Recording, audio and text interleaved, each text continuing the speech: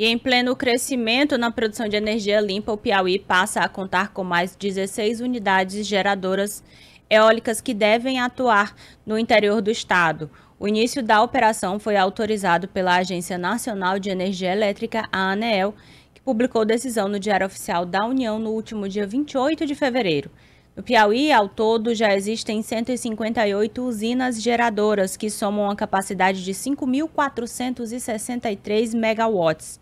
As 16 novas unidades aprovadas estão localizadas no município de Dom Inocêncio e são divididas entre as usinas EOL Ventos de São Roque, 13, e EOL Ventos de São Roque, 26. Cada uma delas possuirá capacidade de 5.700 kW. Os projetos são da Enel Green Power.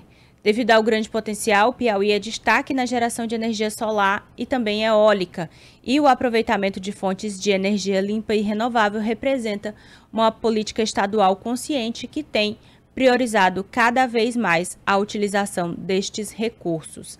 Dentro desta política de investimentos, existe no Piauí entre o Piauí e o Japão um memorando de entendimento assinado com a finalidade de estudar a implantação de um projeto de energia eólica offshore no litoral piauiense. O projeto envolve investimento previsto na ordem de 25 bilhões de reais.